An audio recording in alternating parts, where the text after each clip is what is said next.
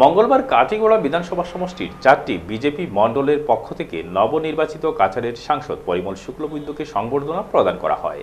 ভারতীয় জনতা পার্টির পশ্চিম কাটিগোড়া মণ্ডল, কালাইন মণ্ডল কাটিগোড়া মণ্ডল ও বদরপুর পাঁচগ্রাম মণ্ডলের পক্ষে আয়োজিত অনুষ্ঠানগুলোতে বক্তব্য রাখতে গিয়ে সাংসদ পরিমল শুক্লবৈদ্য বলেন, নির্বাচনের ফলাফলের পর প্রথম কাটিগোড়া সমষ্টিতে দলীয় কার্যকর্তাদের সাথে দেখা করতে এসছেন তিনি। এসব কর্মীরা প্রাণ দিয়ে কাজ করে দলীয় প্রার্থীকে জয়ী করিয়েছেন। এদের প্রত্যেককে সাধুবাদ জানান।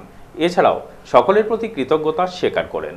আগামীতে কাটিগোড়ার সকলের সহযোগিতায় গোটা কাছাড় জেলার উন্নয়ন করার ইচ্ছে প্রকাশ করেন সাংসদ পরিমল শুক্লবৈদ্য।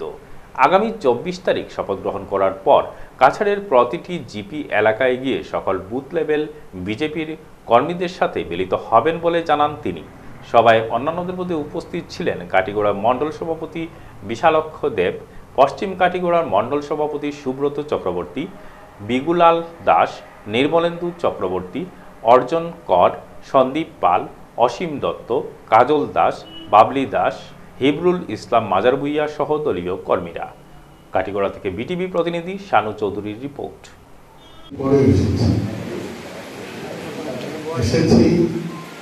আপনাদের সবার সহকর্মী হিসেবে, সহযোদ্ধা হিসেবে।